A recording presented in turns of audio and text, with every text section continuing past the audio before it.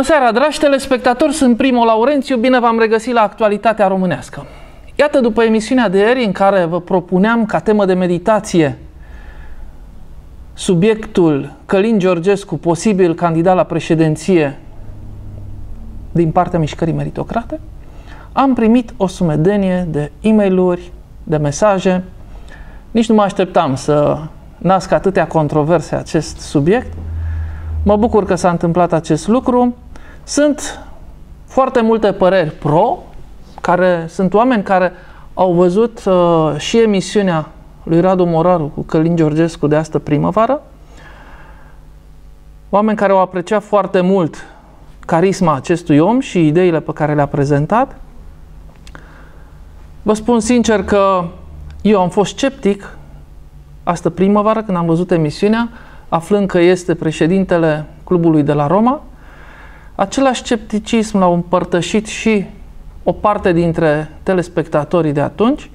Se regăsește acest lucru în e mail pe care mi le-ați trimis, unii dintre voi, atenționându-mă că acest domn Călin Georgescu ar putea fi un lup în blană de oaie, în sensul că ar putea fi un om, un mason, un iluminati și mai știu eu, eu nu mă prea pricep la chestiile astea cu masonii, cu iluminati, cu organizații de genul acesta. Vă spun drept, nu fac parte din nicio organizație, n-am făcut parte niciodată din nicio organizație, n-am niciun șef, niciun stăpân, niciun nimic. M-am interesat un pic, am citit să văd, am, chiar am citit o carte despre francmasonerie, M-am interesat un pic și cei cu acest Illuminati. Mi-amintesc că într-o emisiune de la Nașu TV, Dan Matei Agaton m-a făcut Illuminati. M-am dus acasă să văd ce-o fi aia Illuminati, frate. Ce, ce sunt eu? Că suna bine Illuminati. Și am zis, bă, poate, poate a vrut să mă laude. Înțeleg că sunt niște organizații oculte care vor să schimbe lumea, înțeleg că vor să instaureze o nouă ordine mondială, că vor să facă un guvern unic mondial, că vor să reformeze lumea după alte principii, după alte criterii decât cele după care este organizată lumea astăzi. Ce să vă zic, sunt pro și contra acestor organizații oculte. Eu vă spun drept că trec totul prin, prin filtrul logicii. Nu mă arunc să fiu uh, foarte pătimaș pro sau contra. Pentru mine important este logica și bunul simț. Dacă ceea ce susține un om este logic, de bun simț, în armonie cu legile naturii și ale lui Dumnezeu, este în regulă, indiferent cum se numește. Acum, dacă domnul Călin Georgescu este sau nu membru al unei astfel de organizații oculte, dacă e iluminati sau mason, dacă e membru de partid sau nu e membru de partid, cred că trece în plan secundar. Cel mai important este dacă vrea binele acestei țări și al acestui popor. Acum e drept că există pericolul de a fi păcălit. Că politicienii în general cu asta se ocupă. Îți promit marea cu sarea și când pun mâna pe frâiele puterii, vezi că el de fapt alte gânduri avea. Chestia din campania electorală a fost doar de amăgit fraierii și de păcălit naivi.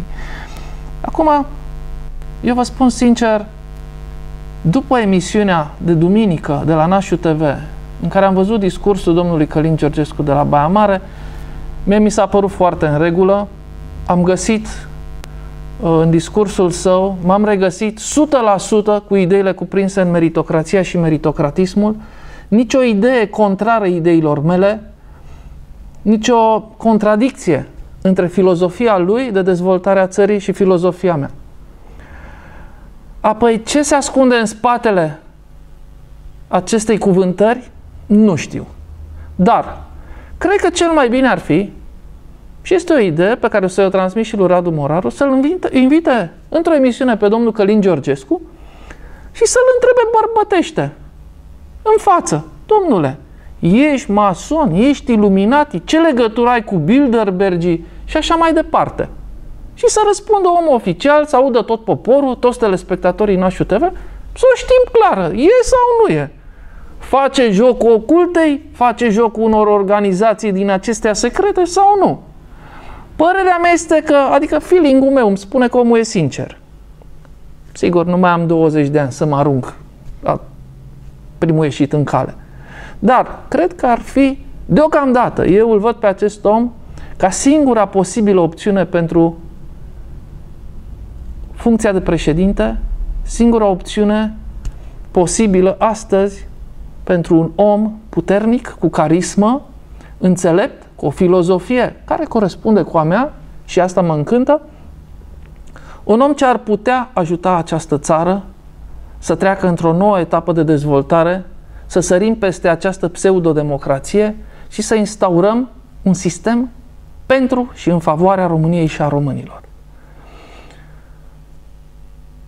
Să știți că faptul, însăși faptul că a vorbit împotriva corporațiilor, a păpușarilor, folosind chiar termenul folosit de mine de păpușari, îmi dă speranța că acest om, chiar dacă a ajuns în fruntea unei organizații cum e Clubul de la Roma, s-ar putea ca înainte de orice să fie român. Rămâne tema deschisă, aștept în continuare cu mare plăcere părerile dumneavoastră.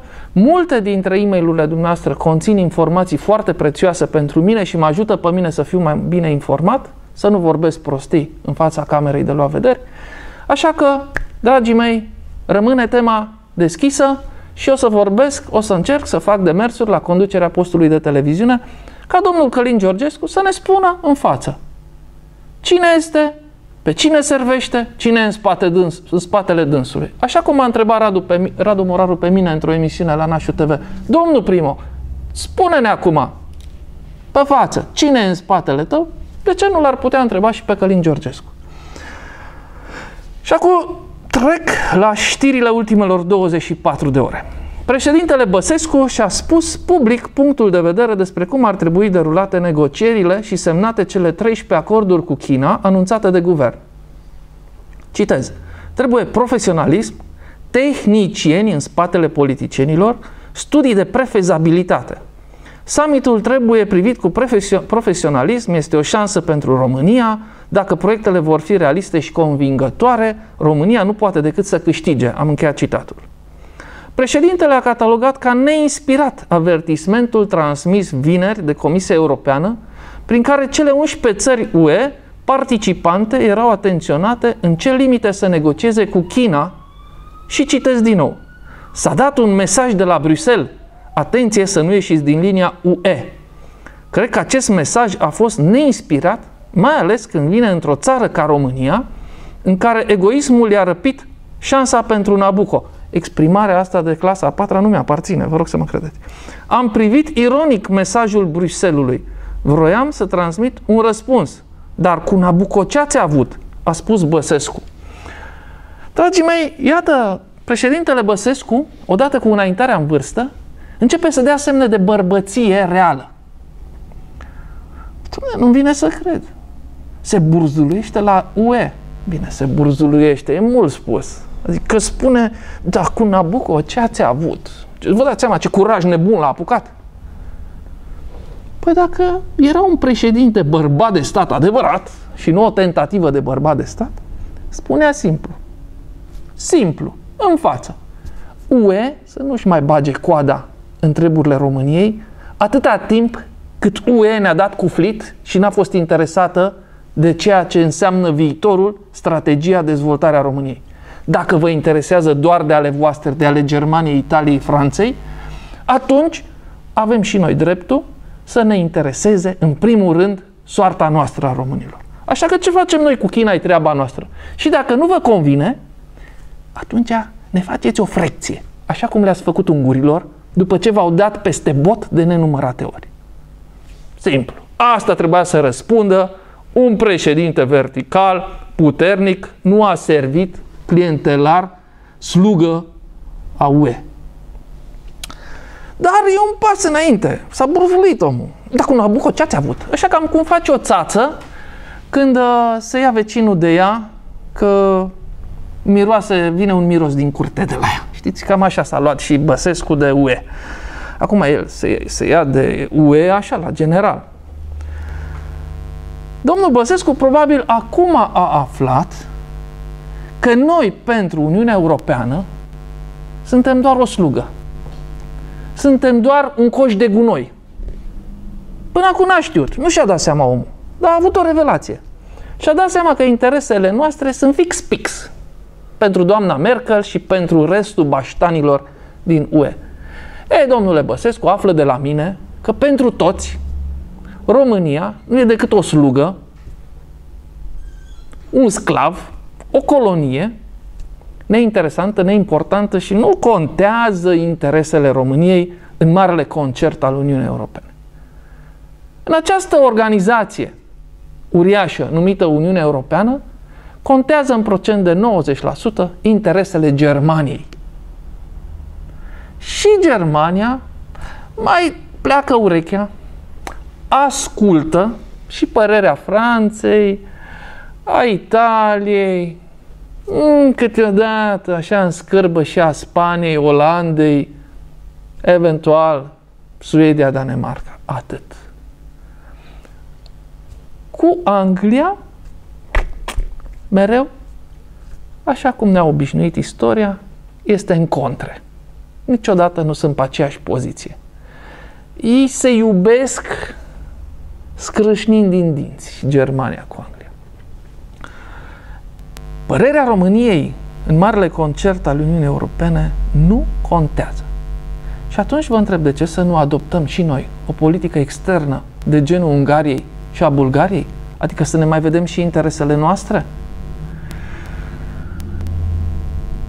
Problema este că România este condusă de oameni servili, de oameni care merg pe acea urâtă vorbă românească, scapul plecat, sabia nu-l taie. Doamne, cât de mult disprețuiesc acest proverb. Știți asta deja, nu trebuie să vă mai spun. Iată că avem șansa de a începe o colaborare cu acest mastodont, cu această mare forță mondială, China. Acum, referitor la acest subiect, relația noastră cu China, Uniunea Europeană și Rusia, sigur că e mult, ar putea fi mult de discutat. Aș putea ocupa trei emisiuni numai cu acest subiect. Radu Moraru scria într-un articol de pe Nașul TV ieri, punea o întrebare, ce alegem? UE, Rusia sau China? La prima vedere, ți se dă de ales între trei rele. Oameni buni, eu vă spun că există și o a patra alternativă. Și răspund lui Radu Moraru la întrebare. România nu trebuie să aleagă nici Uniunea Europeană, nici Rusia, nici China, nici America, nici păpușarii mondiali. România nu trebuie să facă altceva decât să-și vadă de drumul ei și de interesele ei. Noi nu suntem obligați să fim sluga nimănui.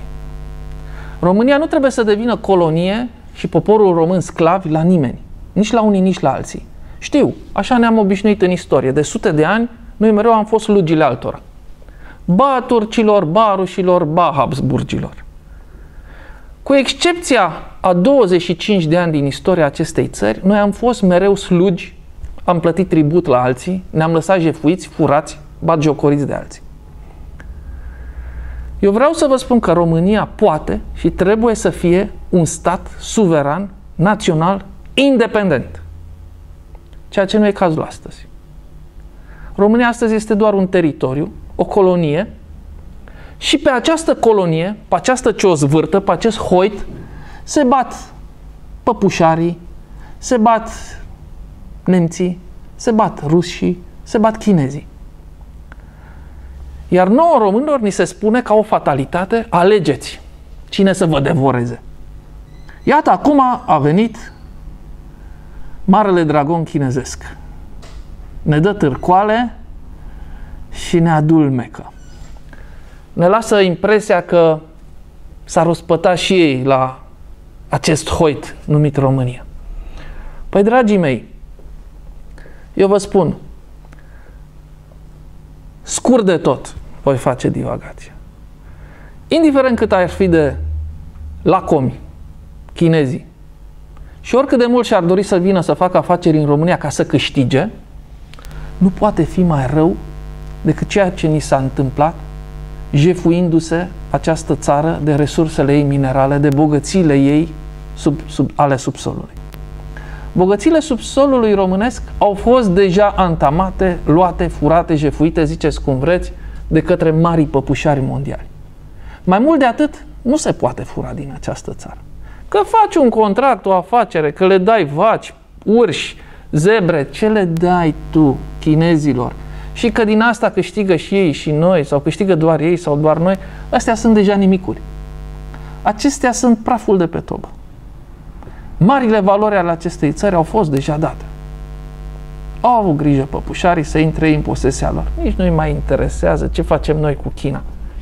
Numai președintele Băsescu are impresia că e speriată Uniunea Europeană de faptul că noi stăm de vorbă cu China. Vă dați seama ce, ce căcăcios trebuie să fii. Să te speri și să stai de vorbă cu cineva, nu cumva să superi marile puteri din Europa. E jenant. Ce am ajuns, frate? Cine sunt mari bărbați de stat, mari președinței României? Unde e un președinte care când dă cu pumnul în masă să crape masa și să spună enough, ajunge cât v-ați bătut joc și cât v-am dat noi socoteală și am fost lugi la voi. Destul ne-ați bagi. Uitați-vă cum ne bagiocoresc toți. Ne fac țigani ăștia în Franța pe la toate televiziunile. Suntem de râsul curcilor. Fac mișto de noi și ne fac țigani și hoți și borfași și în toate felurile. Uitați-vă în Anglia, acum e o campanie uriașă împotriva românilor, care vezi, Doamne, o să dea năvală să le fure lor locurile de muncă, lor puturoșilor. Că am fost în Anglia de câteva ori. Niște putori ordinare, niște jegoși, niște nespălați. Vai de capul lor dacă nu jefuiau toate bogățiile acestei planete vreme de 500 de ani.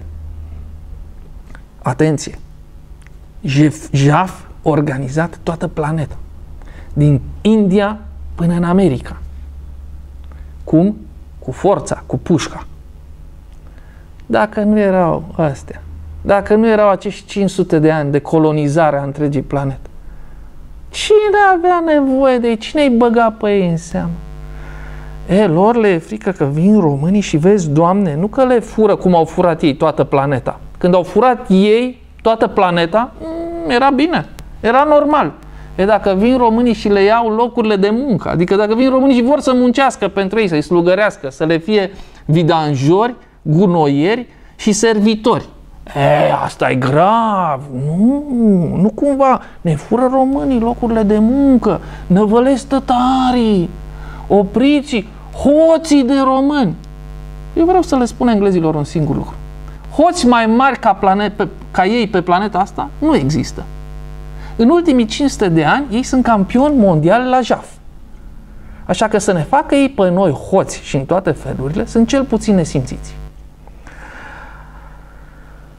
Uh, am ținut să dau acest răspuns pentru că văd că pe posturile TV și în presa românească nimeni nu are curaj să zică nimic împotriva campaniei din Anglia împotriva românilor. E, cineva trebuia să o facă.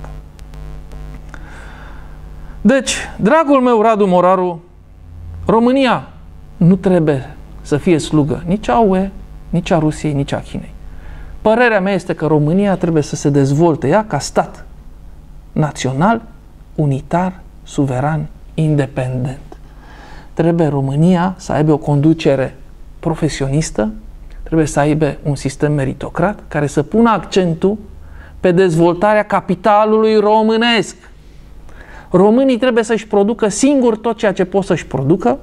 România trebuie să-și folosească propriile resurse minerale și energetice în folosul ei și pentru binele acestui popor, nu să le mai facem cadou altora.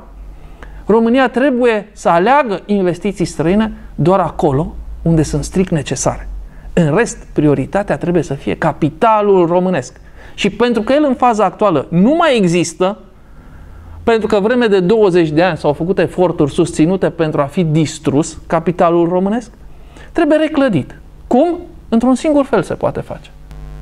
Printr-un management de stat profesionist care să creeze întreprinderi, valori la început cu capital de stat și care să fie listate pe bursă, orice român care are niște bani, care are niște economii, să poată să cumpere acțiuni, iar aceste oaze de bunăstare să se privatizeze lent, în timp, firesc, în mod natural. Așa ar fi trebuit procedat în 1990 de către bandiții Roman și Iliescu. Toată economia românească ar fi trebuit să fie, toate întreprinderile, să fie făcute acțiuni, întreprinderi pe acțiuni, înființată o bursă, unde să aibă acces în primii 10 ani doar cetățeni români. În felul ăsta am fi reușit o privatizare a întregii industrii românești, transparent, corect, natural. Și astăzi am fi fost în situația în care probabil 90% din industria și economia românească să fie cu capital românesc, să existe bunăstare, prosperitate în România, nu să fim o colonie și o țară de sclavi. Deci, soluția este România, nu UE, nu Statele Unite, nu China, nu Rusia.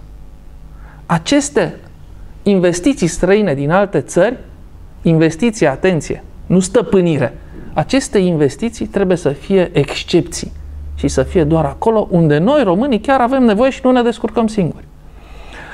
Trec la punctul 2. Stațiune de interes național în pericol. Băile Felix, cunoscute în toată lumea pentru izvoarele de apă termală, riscă închiderea. Motivul? Gazele de șist. Guvernul Ponta a aprobat exploatarea gazelor de șist în zonă. Hotărârea a fost publicată vineri în monitorul oficial. Iată cum s-a mers pe șest. Abia astăzi s-a aflat că se dă drumul la exploatarea de gaze de șist și la băile Felix. Adică s-a terminat cu băile Felix. Păi vă spun o chestie. Statul român nu o să câștige niciodată din acele, din acele redevențe de rahat, niciodată nu o să câștige cât pierde cu băile Felix. Doar vorbim despre bani, nu mai vorbim despre natură, despre ecologie, despre faptul că dai moca, pe gratis, tot gazul ăla, care e al tău. Îl dai cadou, îi ați dau o nimica toată, da, da, și nimica aia toată pe care ți-o dau, nu compensează pierderea pe care o ai din punct de vedere al turismului. Nu mai vorbim de dezastru ecologic și așa mai departe. E incredibil ce își permit să facă acești bandi strădători care conduc România astăzi. E incredibil ce tupeu și ce curaj au. Băi, frate, să nu te gândești că într-o bună zi te așteaptă plutonul de execuție pentru ceea ce faci. Chiar să nu-ți fie frică de nimic, să ai așa încredere că poți să bagiocorești țara asta, poporul ăsta, în halul ăsta, fără să dai socoteală. Dar măi, ticăloșilor de politicieni, n-ați văzut ce a pățit Ceaușescu? Nu e un exemplu pentru dumneavoastră? Cei ce conduceți astăzi România? Nu vă dă prin cap, stai bă, că ce-a pățit ăla. Și ăla era tare de tot. Poate să ni se întâmple și nouă. Asta este numai, e inconștiență, e lăcomie dusă la paroxism. Lăcomia asta le tulbură mințile, le, le, le iau orice fir de logică, le distrug instinctele. Pentru că, băi, frate, eu mă pun în situația lor. Bă, dar trebuie să ai instinctul ăla de teamă. Stai, mă, că ce fac eu acum este în altă trădare. Doamne ferește, vin meritocrație mâine, poi mâine la putere și ne pune la la zid, ne, ne, ne împușcă. Băi, frate, ce ne facem? Cum așa să dăm, să facem, să distrugem țara asta? Nu, ei nu au nicio problemă. Cred că ei sunt convinși că sau cine știe, poate le-au promis păpușarii că le schimbă identitatea, că vine, ea, îi duce, îi salvează.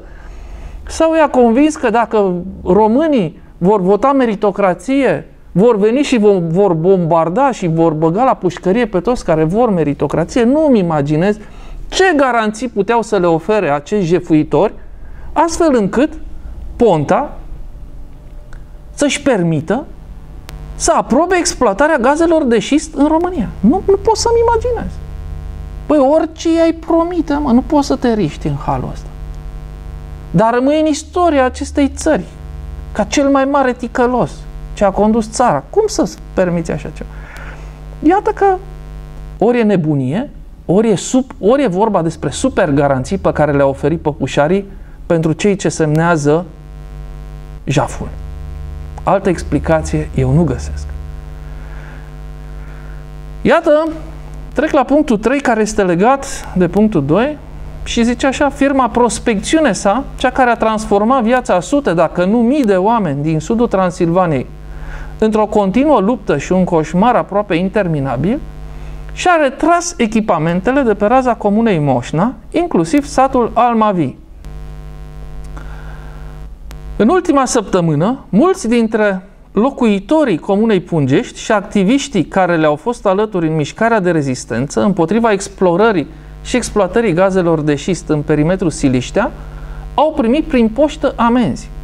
În cele mai multe cazuri, amenziile vin din partea jandarmeriei, dar și din partea polițiștilor, pentru diverse motive. În principal, este vorba de represalii ale autorităților pentru participarea la evenimentele din 16 octombrie, atunci când manifestanții au blocat intervenția utilajelor firmei agreate de Chevron pentru pregătirea explorării gazelor de șist în zonă, cât și la mitingul din 13 noiembrie, meeting spontan împotriva primarului ținut în fața primăriei Pungești. Sunt și cazuri în care polițiștii au dat amenzi doar pentru că persoanele în cauză făceau parte din grupul protestatarilor. Așa cum scrie în procesul verbal întocmit de agenții de miliție. Dragii mei, iată, este o știre compusă. Vedem aici două știri. Unul la mână. Că această companie Prospecțiune SA, instrument al păpușarilor, care făcea explorări în zona Sibiului, a fost pusă pe fugă. Ce interesant este că cel ce a fost capul răutăților, între ghilimele, cel ce a dus la această revoltă împotriva păpușarilor, nu e un român.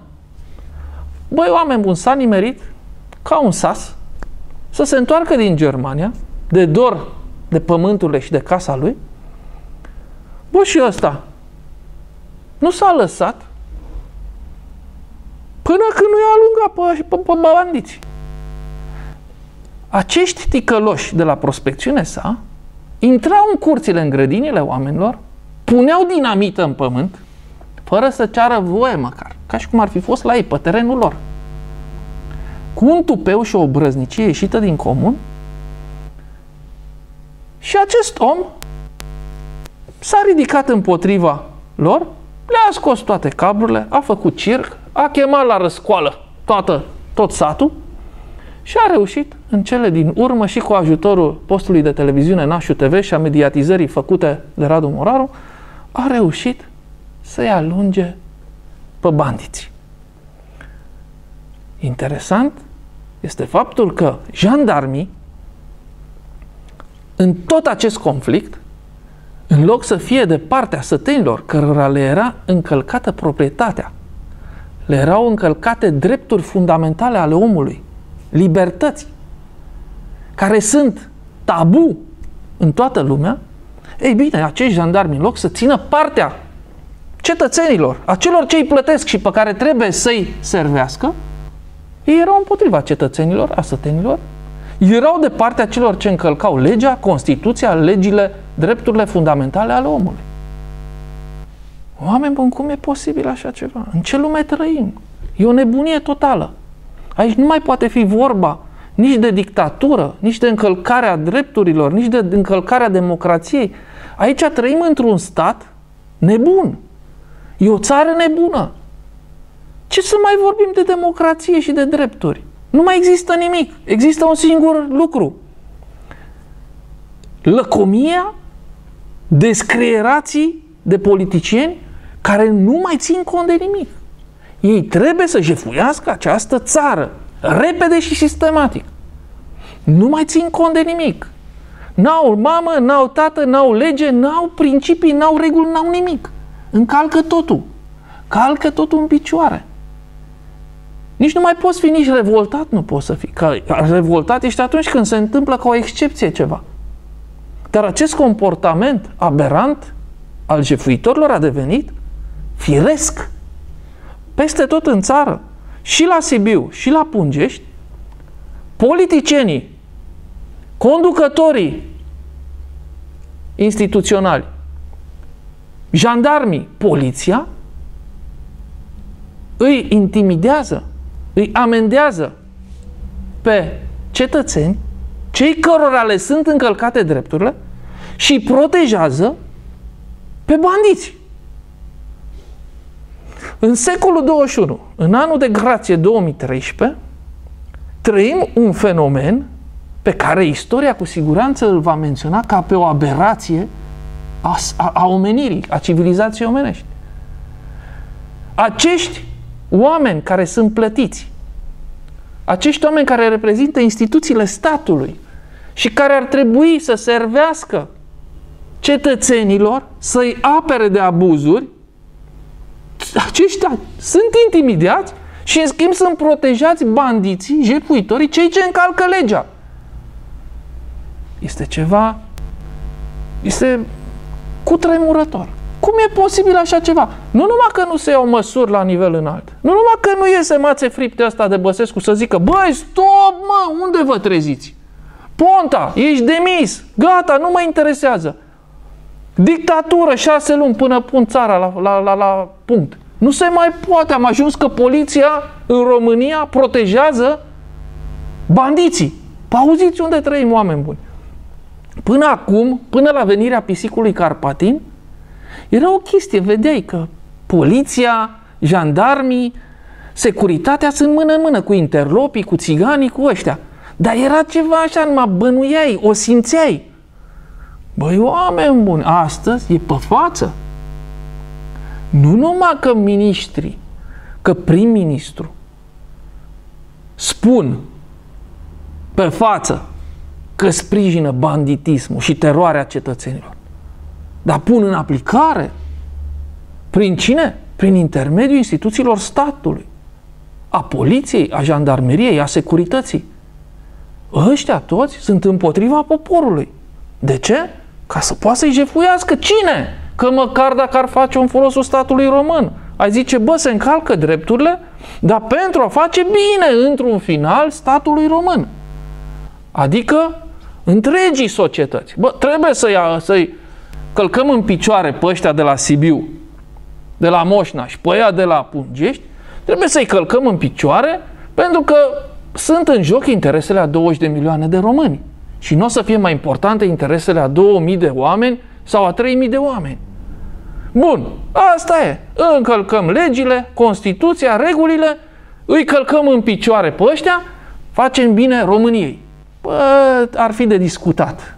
Ar fi niște principii filozofice de pus în discuție, de moralitate și așa mai departe. Dacă îmi faci toate astea împotriva poporului tău și în favoarea unor companii care n-au nici în clinici în mânecă cu România, și România nu are nimic de câștigat din asta, atunci situația devine revoltătoare, de-a dreptul revoltătoare. Și să nu se miră ei politicienii trădători și corupți, dacă în țara asta se va ajunge la sabotaje, la lupte de partizani și la fel de fel de acțiuni de genul ăsta care, despre care am auzit în istorie. Poporul ăsta la disperare va ajunge la sabotaje și la lupte de partizani vor ajunge românii să lupte cu coasa și topoarele împotriva cotrupitorilor moderni. Acolo se va ajunge.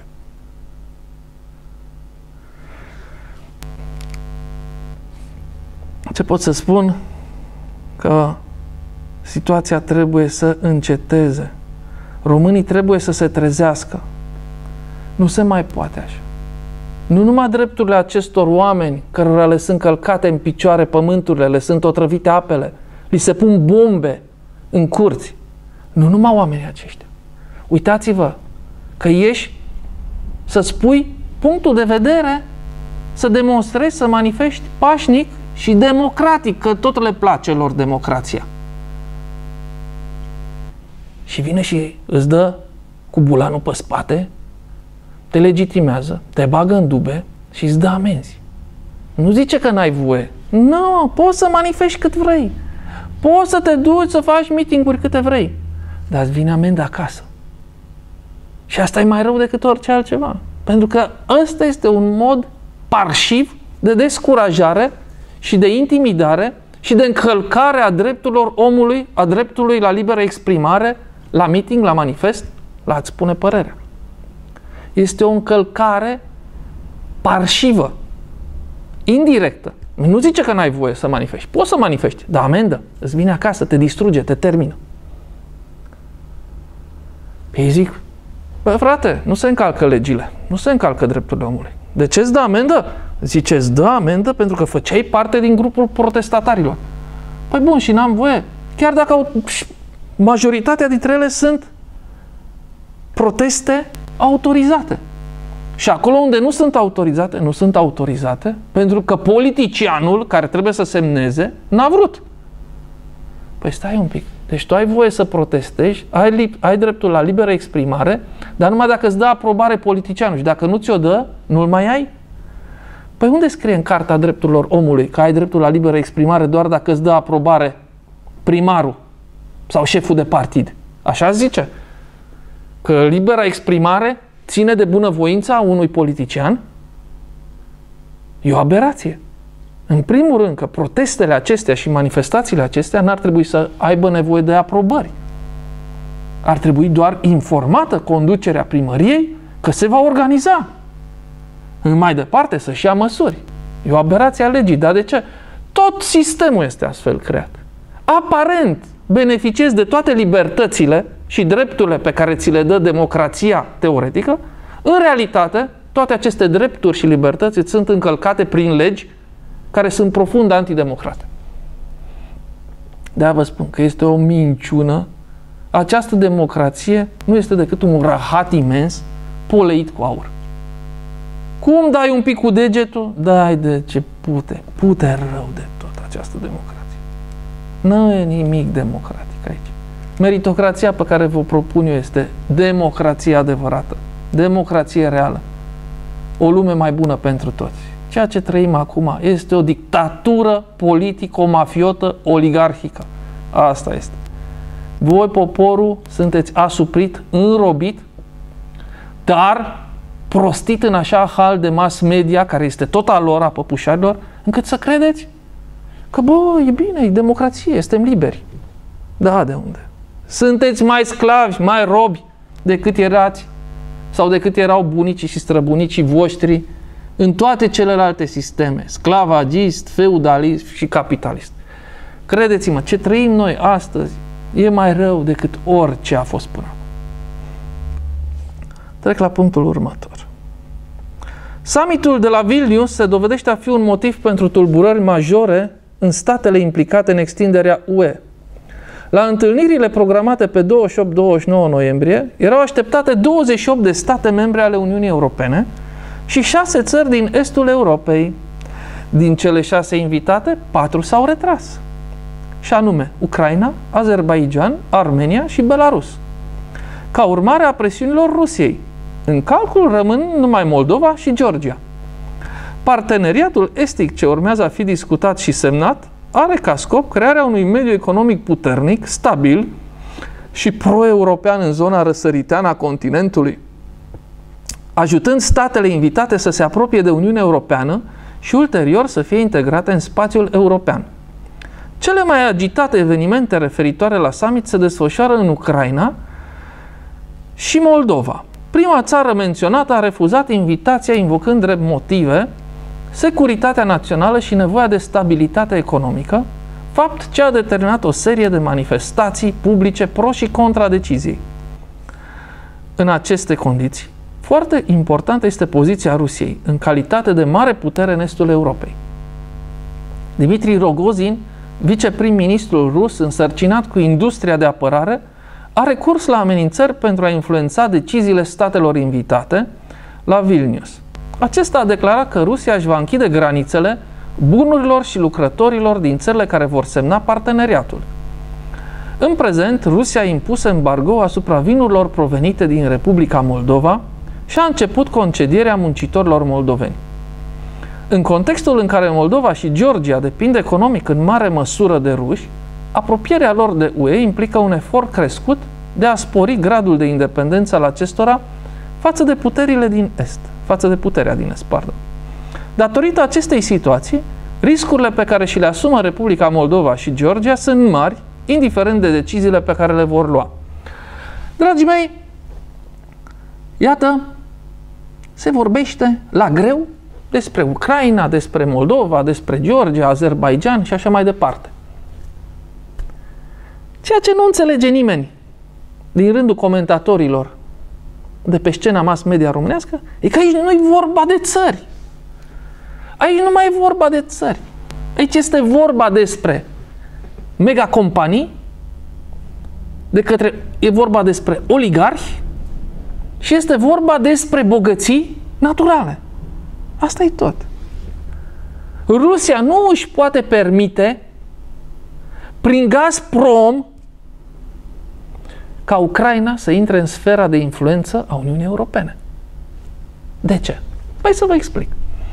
Ucraina este unul din, una dintre țările cu cele mai mari rezerve de gaze de șist.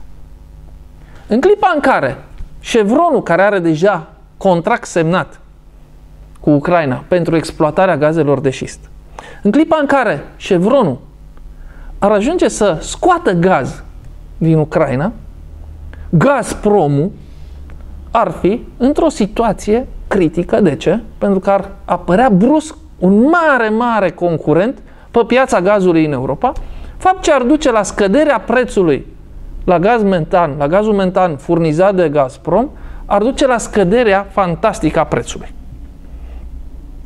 E, această scădere a prețului la gaz metan ar afecta foarte puternic Gazprom, în spatele căruia știm prea bine cine este. Cine este adevăratul proprietar al Gazprom. Ei bine, aici nu mai e vorba de Rusia. Nu interesează pe nimeni de soarta Rusiei și a rusului de rând. Nu interesează pe nimeni părerea ucraineanului și soarta ucraineanului de rând. Aici este vorba de bani, de resurse minerale, de putere, de sfere de influență. Sigur că da, Uniunea Europeană ar fi vrut să tragă Ucraina cu aceste mari bogății în partea ei, astfel încât să aibă cu ce să șantajeze Gazpromul. Exact aceeași situație pentru care a fost pisicul Carpatin la doamna Merkel și a fost primit cu covorul roșu, pentru ca România să dea drumul exploatării gazelor de șist, ca un extraordinar instrument de șantaj împotriva prețului practicat de Gazprom. Ei bine, nu știu de ce se miră.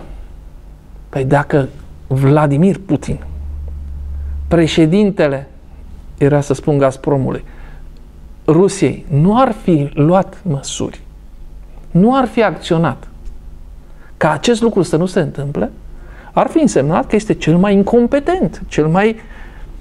Cum să, cum să cedezi tu? Păi, practic, trecerea Ucrainei în zona de influență, în sfera de influență a Uniunii Europene, ar fi însemnat falimentul Gazpromului și a Rusiei. Păi cum să faci treaba asta? Că în clipa în care Gazpromul nu mai aduce bani la bugetul Rusiei, Vladimir Putin e terminat. În șase luni e revoluție în Rusia. Se termină complet. Cu tot eșafodajul construit de acest om care, după părerea mea, e cel mai puternic om de pe planetă. Păi și cum vă imaginați, cum își putea imagina Uniunea Europeană că acest lucru s-ar putea întâmpla? Să te duci acolo, la Vilnius, și brusc așa să anunți Rusia că i-ai furat Belarusul, Ucraina, Azerbaijan, Armenia, Georgia, Moldova din sfera de influență. Trebuie să fii nebun. Trebuie să crezi că Putin e la fel de impotent și trădător ca Băsescu și pisicul Carpatin. Păi nu se poate, mă, că ăla nu-i nebun, că ăla nu se lasă jefuit la drumul mare.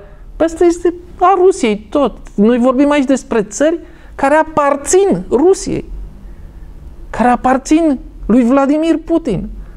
Cum te duci tu acolo și crezi că merge așa? Păi omul ăsta cred că, cred că Putin a și râs când a auzit de inițiativa asta. Cred că l-a pufnit râs. Cât de naiv poate să fie. În schimb, ce pot să vă spun este că doamna Merkel și-a rezolvat problema ei. A dat-o la pace cu Putin. A negociat un preț la mii de metri cubi, aproape jumate față de prețul cu care furnizează Gazprom celorlalte țări. De aia Germania e ok. Nu e nicio problemă. Nu se mai poate. Nu se mai poate. Asta e. Dar de doamna Merkel și-a atins scopul. Ce ar fi avut ea de câștigat din gazul de șist extras de Chevron, a câștigat deja. Și a văzut că uh, saci în căruță. A dat-o la pace cu Putin. Ea și-a văzut saci în căruță, Putin și-a rezolvat problema asta care era dureroasă. Să aibă un ghimpe în coastă să aibă o Ucraina și tot flancul vestic să treacă de partea Uniunii Europene și în sfera de influență a păpușarilor. Problema s-a rezolvat. Rămâne de discutat cu privire la Republica Moldova. Eu mă îndoiesc că Republica Moldova va intra vreodată în Uniunea Europeană. Cel puțin nu în era Putin. Nu-l văd pe Putin atât de naiv încât să cedeze. Sau poate e o miză atât de mică încât nu-l interesează. Dar soarta Republicii Moldova vă spun de pe acum că a fost semnată deja. Intră în acordul dintre Putin și Merkel. Putin și Merkel au bătut palma, s-au înțeles pe tot ce înseamnă împărțirea sferei de influență în această parte a lumii și soarta Moldovei este deja pecetluită. Ce nu știm noi încă e în ce fel. A intrat în sfera de influență a Uniunii Europene sau a rămas la Rusia? Părerea mea e că a rămas la Rusia. Știrea numărul 5. Teheranul și cele șase mari puteri, Rusia, Statele Unite, China, Franța, Marea Britanie și Germania, au ajuns la un acord pe tema programului nuclear iranian, potrivit BBC. Israelul a denunțat duminică acordul încheiat la Geneva în dosarul nuclear iranian, afirmând că Teheranul a obținut ceea ce vroia, potrivit biroului premierului Benjamin Netanyahu. Barack Obama a apărat luni abordarea administrației sale în dosarul nuclear iranian, afirmând că e ușor să baci cu pumnul în masă, însă aceasta nu garantează securitatea Statelor Unite.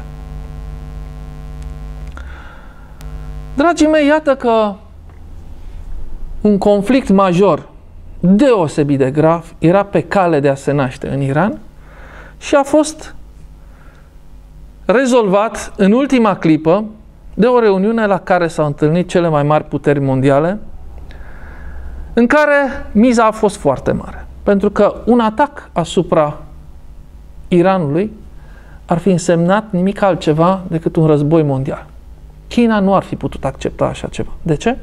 Pentru că Iranul este principalul furnizor de petrol al Chinei.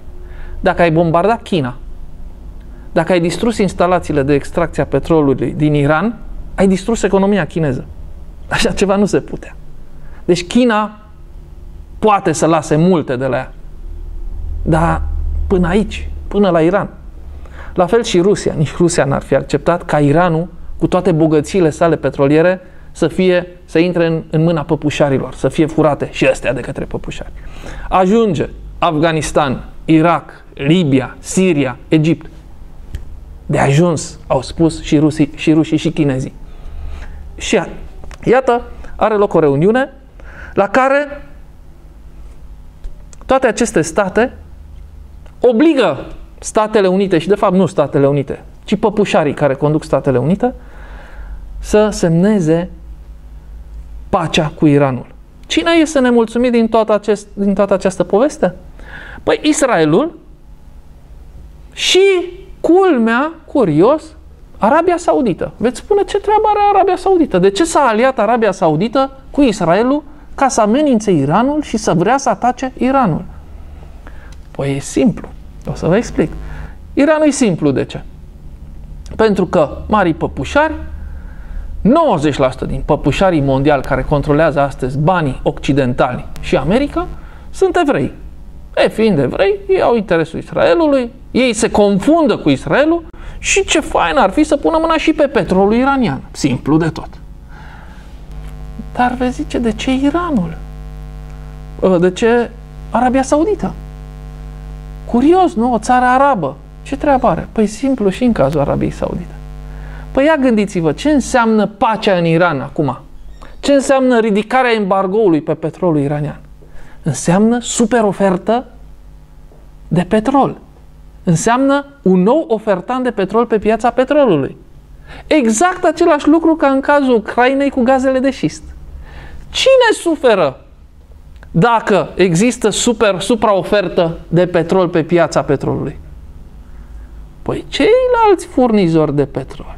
Și cine este unul dintre cei mai mari, dacă nu cel mai mare furnizor de petrol din lume? Arabia Saudită. Așa că Arabia Saudită este foarte nefericită că se ridică embargoul asupra Iranului. Mai mult, Arabia Saudită este unul dintre capii răutăților pentru care a existat acest embargo și s-a căutat not în papură Iranului. Așa că, dragii mei, în concluzie, pentru că se apropie sfârșitul emisiunii, iată, vedem că și în Ucraina, și în partea asta la altă în Iran, păpușarii pierd teren, pierd influență, pierd sprijin. Iată că forțele ce se opun lor păpușarilor, Rusia, China, mai nou Germania, Uniunea Europeană, au întors. Balanța, echilibru s-a schimbat. Iată că păpușarii nu mai reușesc să-și impună dorințele. Iată că se pregătește și un acord de pace în Siria. Israelul și păpușarii trebuie să-și ia bye-bye și de la gazul din Marea Mediterană, de la Leviatan. Iată că se apropie sfârșitul. sfârșitul. The final countdown. Și acum, ca de obicei, cu Dumnezeu înainte. La revedere!